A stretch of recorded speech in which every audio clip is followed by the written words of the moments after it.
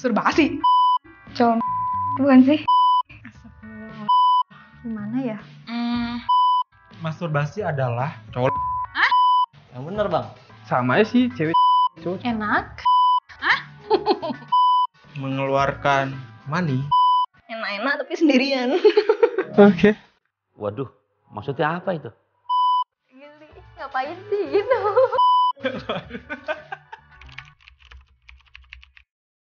Kepo.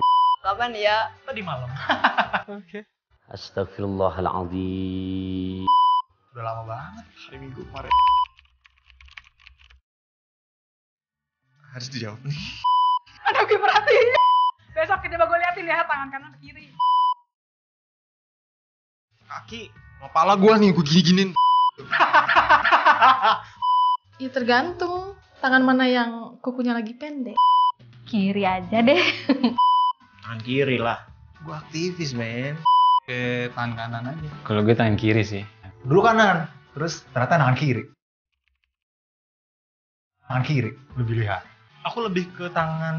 Dua tangan. Oh, botol aqua tuh. Oke. Ya salah. Hmm, ya tergantung. Tangan orang gua pakai.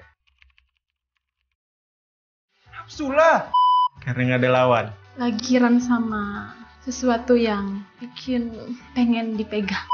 Masa liatin lu gua masturbasi di sini? Ah. Ya gitulah pokoknya nggak jauh-jauh kehidupan aku dari drama Korea soalnya. Lagi buka Instagram, buka TikTok. Ada cowok nge-gym. Main tuh tangan. Oke.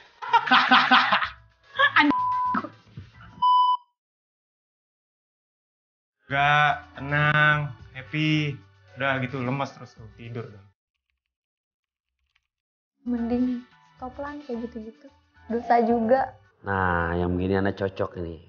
dan keseringan maksudnya kalau udah habis kayak gitu ya mandi biar lu bisa sholat gitu. jadi sholat tuh nggak skip Assalamualaikum warahmatullahi wabarakatuh. Perihal masturbasi. Secara hukum, para ulama jumhur ulama menyebutkan ke Bekasi bersama mahram. Masturbasi haram. Alasannya apa? Quran surat ke-23 juz ke-18 ayat ke-5 sampai ke-7 di mana Allah menyebutkan kriteria orang-orang yang sukses itu orang-orang beriman yang bagaimana? Yang di antaranya orang-orang li furujihim hafizun untuk kemaluannya dia bisa jaga. Illa ala azwajihim aw ma malakat aimanuhum fa innahum ghairu malumin. Bukan berarti kita tidak punya nafsu tapi menempatkan pada tempat yang benar. Ketika sudah menikah suami istri yang halal justru jadi bernilai ibadah. Bahkan kalau sudah halal mah saya di rumah saja sama istri bahasanya ikan betok buah markisa. Satu yang dipentok semuanya berasa. Tapi hati-hati ketika kita langgar peraturan ini jelas hukumnya jadi haram berdosa.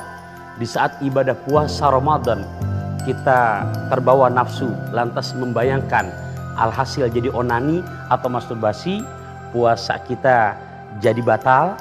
Dan Masya Allah bukan hanya itu saja sampai Sidina Ali menyebutkan ketika kita sengaja-ngaja berbuka dengan sebab onani, coli atau masturbasi maka sekalipun kamu bayar hutang sepanjang hidup kamu tidak akan bisa menyamai satu hari fadilah yang ada di bulan suci Ramadan.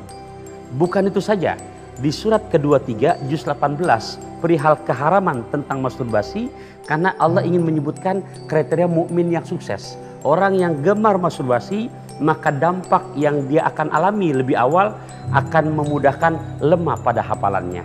Oleh karenanya kepada ikhwan akhwat rahimakumullah, yuk dengan kesempatan momen bulan suci Ramadan betul-betul kita jaga diri kita dari hal-hal yang diharamkan ini.